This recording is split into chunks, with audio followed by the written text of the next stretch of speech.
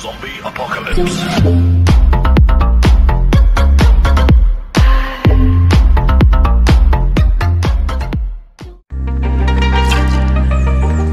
La Cross Guild è stato il punto focale dell'ultimo capitolo di One Piece. L'alleanza stretta tra alcuni ex membri della flotta dei Sette, oltre all'hype, ha suscitato tante polemiche.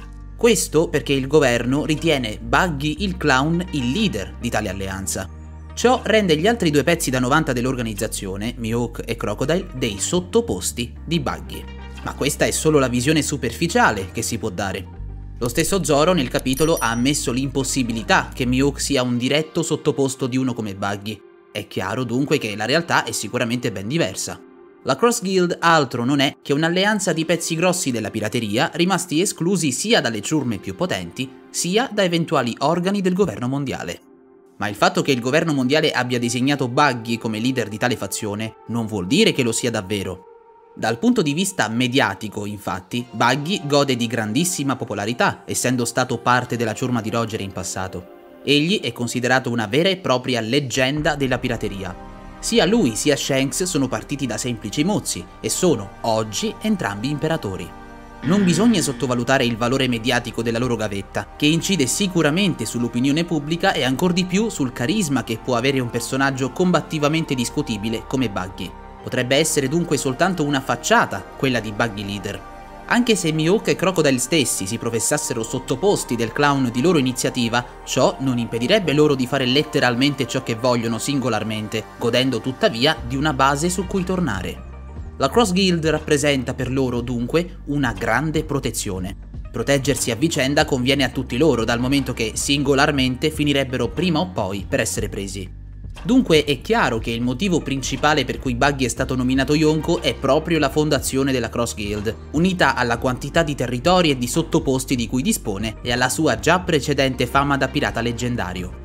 Insomma, quando Buggy è diventato Yonko si voleva a tutti i costi la spiegazione. Adesso che è stata data c'è comunque del malcontento. La community non è mai contenta. Ma bisogna ammetterlo, quella della Cross Guild è una trovata geniale, soprattutto considerando un fattore che è stato probabilmente uno dei più rilevanti ad accrescere la pericolosità di Buggy, ovvero l'aver messo delle taglie sulle teste dei Marines. Questa è un'azione che nessun pirata aveva mai neanche lontanamente pensato.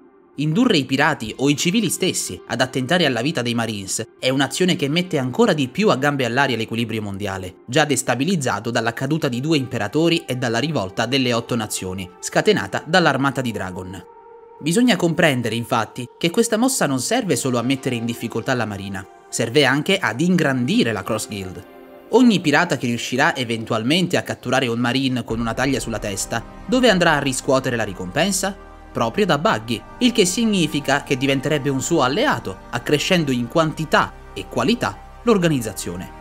Prima di salire sul carro dopo, è meglio iniziare a capire già da adesso la potenzialità narrativa che questa organizzazione avrà nella parte finale dell'opera. Ad esempio, un altro pezzo grosso che potrebbe unirsi qualora non l'avesse già fatto è Weeble.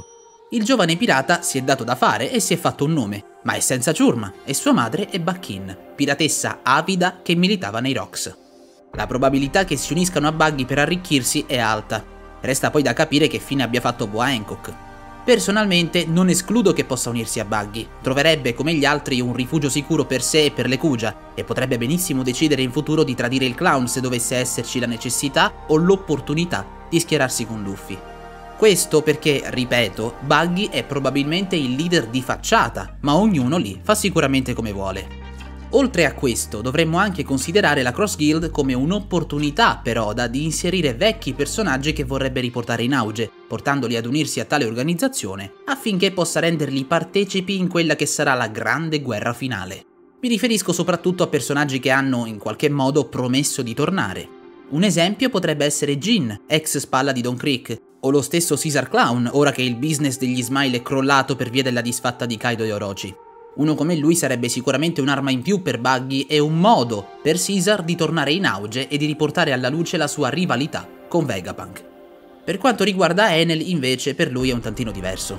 Enel non diventerebbe mai un sottoposto di qualcuno, nemmeno se dovesse trattarsi di uno Yonko, per via del fatto che lui si considera Dio. Questa sua superbia non lo porterebbe neanche ad accettare una finta sottomissione come hanno probabilmente fatto Mihawk e Crocodile. Pertanto, se dovessimo proprio rivedere Enel nella guerra finale, sarebbe un vero e proprio Jolly, un cane sciolto che non presta ascolto a nessuno che non sia se stesso. Dunque, concludo dicendo che personalmente trovo la Cross Guild una genialata del maestro Oda.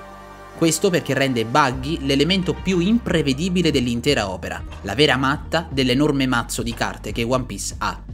Se poi consideriamo che Oda ha espresso chiaramente la sua volontà di inserire elementi divertenti e umoristici all'interno dell'opera, così come ha già fatto con il Gear Fifth, siamo sicuri che per accrescere il livello di divertimento e gag comiche non possa rendere proprio Buggy il villain finale? C'è anche Mihawk adesso, ovvero l'obiettivo numero uno di Zoro. Fateci sapere che ne pensate nei commenti, sbizzarritevi con le vostre teorie e i vostri pareri sulla Cross Guild. Noi ci vediamo alla prossima. Sayonara.